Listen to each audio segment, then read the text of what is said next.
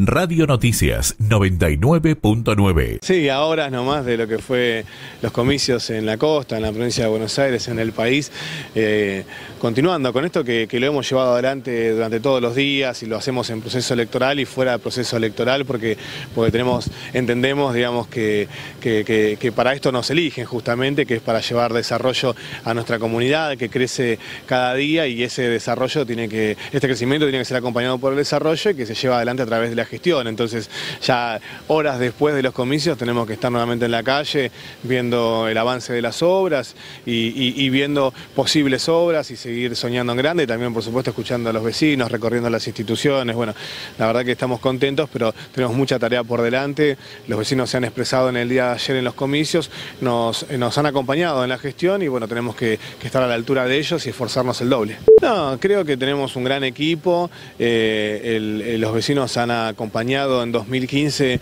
eh, este equipo y lo están acompañando también en esta elección intermedia y, me parece que uno tiene que ser respetuoso siempre de, las elecciones y, de la elección de, cada uno de los vecinos a través de las urnas y, lo, y hemos sido respetuosos en el 2009, hemos sido respetuosos en 2013 y, hay que ser respetuosos también en este 2017